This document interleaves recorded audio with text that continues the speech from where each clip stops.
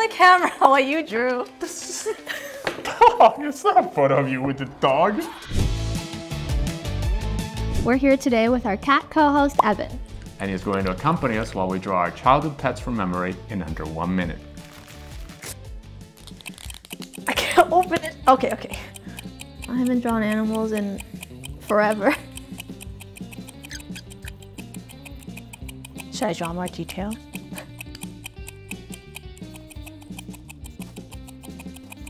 What are you drawing so long for? I feel like I don't have enough detail.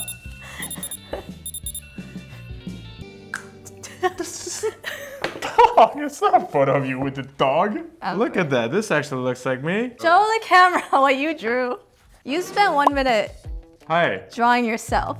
Well, I spent about 30 seconds crafting, you know, the I- composition. I you just put a dog in the middle of the photo. I drew my dog. Really? Yeah, it's a mini dachshund. I call her. And then she was like a, a red hair, a red hair, so I used a red She's marker. got a very fat tail. This is the picture of a boy with his dog. That's the picture of a dog. All right, how about if I told you that we didn't have to go through this and there's actually an easy way to get a sketch version of your pet. Let's see it.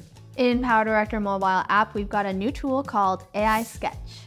In the app launcher menu, we're going to tap into the option for Magic AI Photo, then go into AI Sketch. Now, we do have to disclaim here that for the most optimal results, you should choose a photo with a person in it. However, we found that the AI can process some clear photos of pets as well. Once inside the AI Sketch tool, select the photo you want to edit. Choose the style of art you want to go for and let the AI do the rest. We use the minimalist style to make our photos look like sketches, but you can also try out the graffiti style and much more to create your own AI pet portrait. Alright guys, we've seen everybody's comments and we hear you. We're bringing back our Q&A section to better respond to your questions and comments. All right, our first comment from Johnny G Thing. Do you guys respond at all? Yes, sometimes we do. Our support center is super busy, so give them some time to respond, or better yet, go directly to the support center on our website to ask your question. We'll put the link down in the description. So our next question comes from Tim Spararmy 4316. Another company's PowerDirector? It looks like you're asking the question on one of our old videos, so make sure you're subscribed and keep up to date with our latest features. Our last question comes from MeyerGrudy381. Chroma key option not available in the mobile app? PowerDirector mobile app does have chroma key.